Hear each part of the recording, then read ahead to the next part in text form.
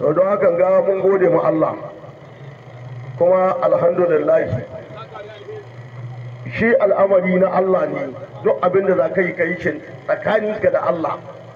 In kai tsakaninka da Allah babu wanda babu abin duk ka ji mutum na dumuwa ne ga ƙyale akwai waɗanda ka cewa ba kuɗi wai nake so ba. Ni ban son kuɗi. Akwai uban da bai son kuɗi.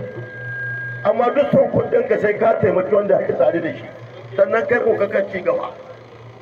Duk son kuɗinka duk son kuɗinka sai ka taimaki wanda kake tare da shi sannan ka ci gaba.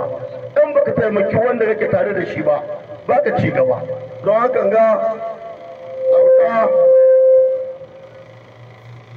yau rabo naka ne Allah ya baka ba mu na baka ba Allah ya baka. Karka ce mu na baka Allah na baka.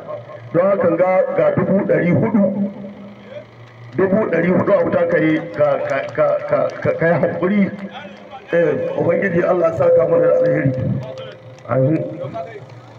In kuma naira guda a babu da dubu ɗari huɗu ɗin nan ga sai mu cika ma.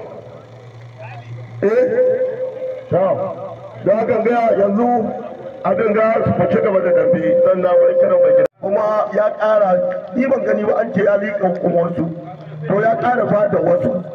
Don haka alhamdulillah na gode mu Allah. Ba wai yawan gida yawan gida shine ba.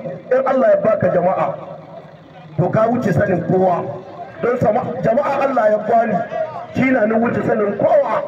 Don haka alhamdulillah ni ne shaida cikin kuɗin da mai gida ya liƙa kaga kaga da aka ci ya sayo dan washa shagon sai da